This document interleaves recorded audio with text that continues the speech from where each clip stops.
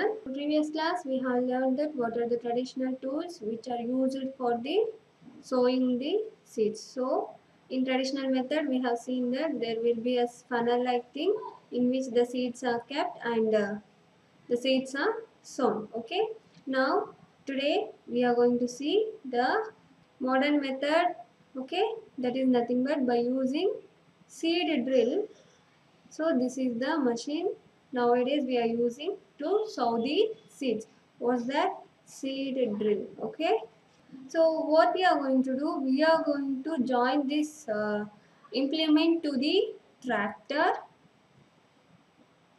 and then we are going to sow the seeds. What's the main use of this machine? What is the comparison between the old implement and this new implement is nothing but in old implement uh, many seeds are grown and uh, many seeds are sown okay?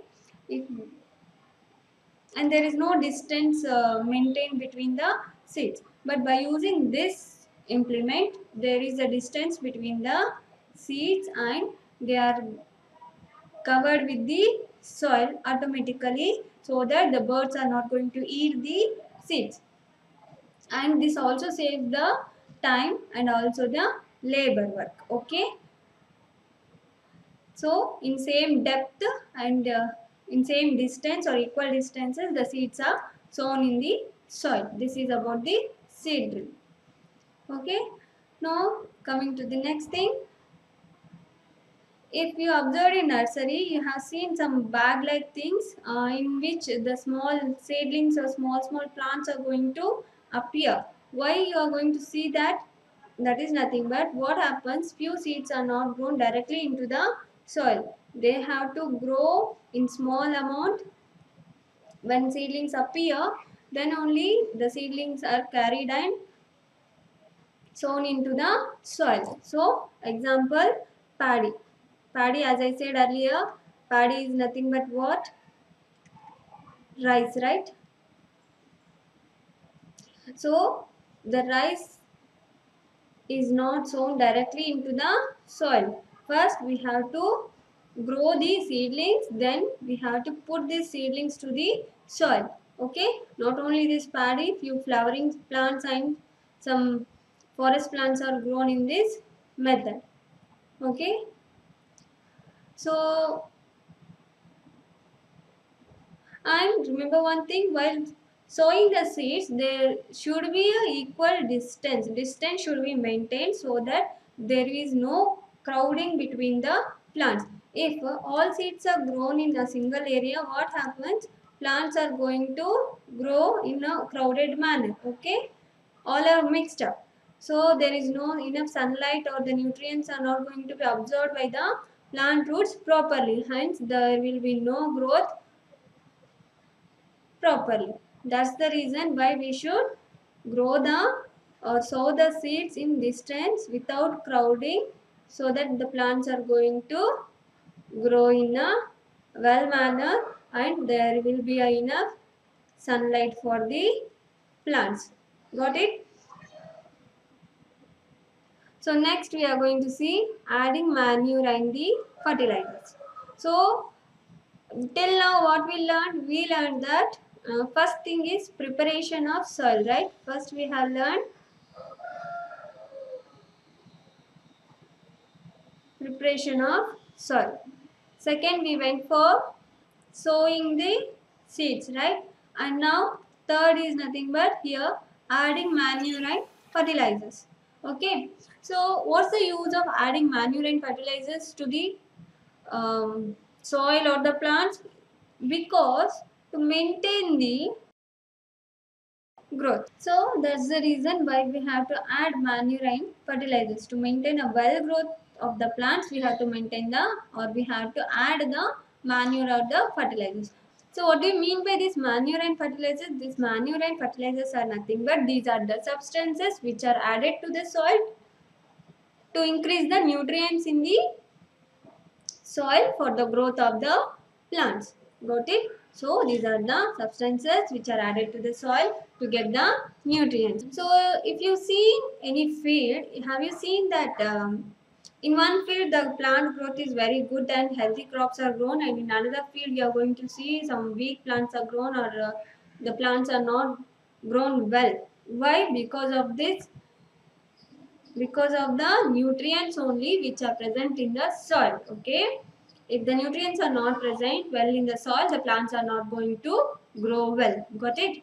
So here what's the main thing for the growth of the plants? Nutrients which are present in the soil. The soil should contain nutrients and minerals that are required by the plants. So here soil supplies mineral nutrients to the crop plants okay? And these are essential for the growth of the plants okay? Now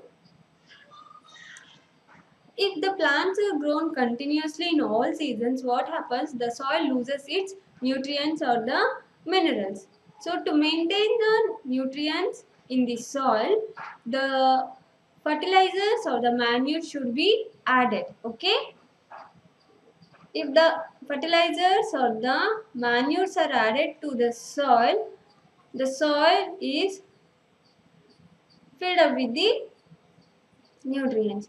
So, and one more thing, the crops that are grown in the soil should be seasonal. Okay, in one season we have to grow one crop and in another season we have to grow another crop. If the plants or the crops are grown continuously without changing the crops then the soil compulsory loses its nutrients so for example if a farmer grows rice in one season okay then in next season he should grow another plant like wheat or whatever okay then again he has to repeat the rice wheat whatever it is and so on.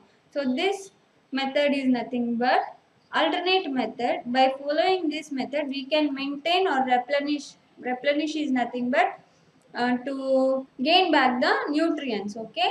So we can replenish the soil nutrients back to the soil or we can uh, the soil is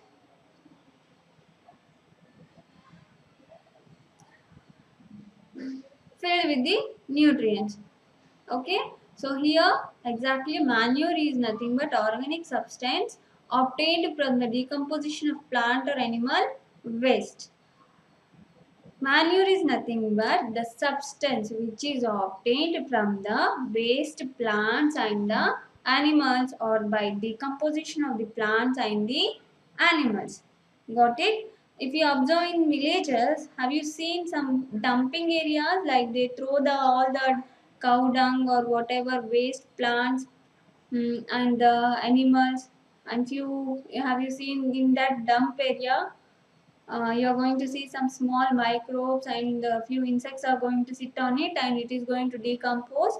And that thing is carried to the field and it is added to the soil and it is mixed up so that the nutrients are replenished into the soil again so that they can grow the crops again. So as I said, now here we are having one activity so you can understand this uh, fertilizer or manure with the help of this activity which allows more growth or uh, okay.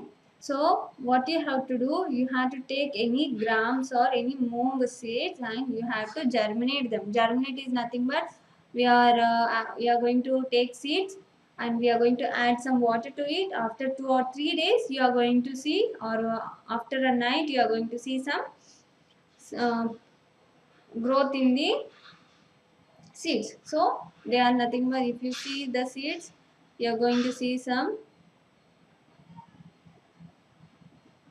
Okay, these are nothing but germinated seeds. Now what you have to do in that germinated seeds, you have to collect the seeds which are of same size. Okay, and you have to put these seeds into three glasses and name these glasses as the A, B, C. In A, what you have to do and you have to take equal amount of soil in all three glasses. Got it? Now put these seeds into the glasses. After that, what you have to do in A, you are going to add manure. in B you are going to add urea. Urea is nothing but a fertilizer and in C only soil left with only soil with the seed okay you are not going to add any manure or any fertilizer to it now after few days that is nothing but after 7 to 10 days you are going to see the growth of plants okay here you are going to see a b c so here you added manure here you added fertilizer and here nothing only soil is left okay so by seeing the figure only you can say that in which uh, cup or in which glass you are going to see the growth is more in B, right? Why? Fertilizers are very helpful for the growth of the plants, okay? Manures are also helpful in growing the crops or the plants, okay? Now, let us see few examples for the fertilizers. Actually, manures are nothing but it is an organic substance okay and fertilizer is nothing but a chemical okay prepared by the human beings so these are produced in the factories and uh, examples for the fertilizers are urea ammonium sulfate superphosphate, potash, NPK is nothing but nitrogen, phosphorus and potassium. Okay, K is nothing but potassium. N is nitrogen, P is phosphorus, K is potassium. So, the fertilizers are going to help the farmers in, to get the better yield of the crops. So mainly fertilizers are used for which kind of uh, crops? Wheat, paddy and maize. Okay. If we use fertilizers for these crops, we are going to get a good result for the yield of the crops. And so as I said, fertilizers are good to the growth of the plants. If we use more fertilizers to the soil or the crops, the soil is going to become less fertile. That means and the plants are also going to die. Why? Because these are nothing but the chemicals, okay? If we use more chemicals to the plants, the plants are going to die. Okay. So what we have to do? We have to use continuously fertilizers to the plants. No, it is harmful for the plants and the plants which we are going to eat so they are harmful for the human beings also and they are harmful for and you know that they also create the water pollution so fertilizers create water pollution they are harmful for the health and they are going to make the soil infertile when when we are going to use in more amount okay so so to minimize these things what we have to do we are going to use organic manures or leave the field uncultivated in between two crops. Why we are using fertilizers? To gain the nutrients to the soil, right? So, if after one crop the nutrients in the soil are lost, for the next crop we want nutrients. Okay. So, how we are going to create it? By using first is organic manure. And another one is by following the method called as crop rotation. Okay? So here crop rotation is nothing but as i said earlier different crops are grown alternatively. So here they give few farmers what they are going to do in first in one season they are going to grow legumes and in another season they are going to grow wheat. Legumes are nothing but the plants like groundnut okay? So these are such kind of plants are called as legumes okay? Fodder is nothing but grass or the food for the animals. Like horses cows we are going to put some grass to those animals right? That is nothing but fodder so by using in one season we are going they are going to grow legumes and in another season they are going to grow wheat. So this and next they are going to grow legume uh, again wheat. So this kind of thing is nothing but crop rotation okay? By following this method also the nutrients in the soil are maintained.